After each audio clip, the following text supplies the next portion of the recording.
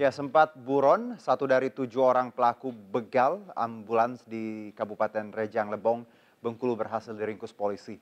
Polisi meminta para pelaku lainnya yang masih buron untuk segera menyerahkan diri.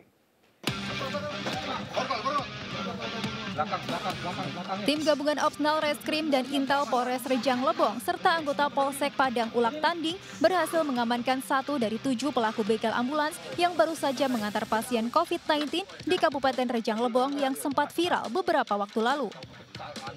Pelaku berinisial DS diamankan di tempat persembunyiannya di sebuah pondok kebun yang berada di Desa Tanjung Aur Sindang Klingi, Rejang Lebong. Kapolres Rejang Lebong AKBP Puji Prayitno mengatakan penangkapan pelaku DS setelah polisi mendapatkan informasi dari masyarakat. Pelaku terpaksa dilumpuhkan oleh timah panas karena berusaha kabur saat akan ditangkap. Dan kami harapkan masih ada enam pelaku lagi untuk segera menyerahkan diri. Karena apa? Karena kita ingin Rejang Lebong ini situasi semakin kondusif, kalau kondusif perekonomian bisa berjalan dengan baik. Saat ini masih ada enam pelaku lainnya yang masih dalam pengejaran Polres Rejang Lebong.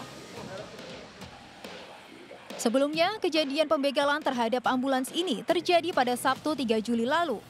Saat itu, ambulans yang baru saja mengantar pasien COVID-19 untuk dirujuk ke Rumah Sakit Lubuk Linggau dibegal di daerah Kepala Curup usai mengalami pecah ban. Dua unit handphone milik sopir dan perawat serta uang jalan serta satu alat tensimeter diambil paksa oleh para pelaku. Dan kejadian ini sempat viral dan mengundang banyak keprihatinan dari berbagai pihak. Dari Kabupaten Rejang Lebong Bengkulu, Endro Dwirawan, iNews melaporkan.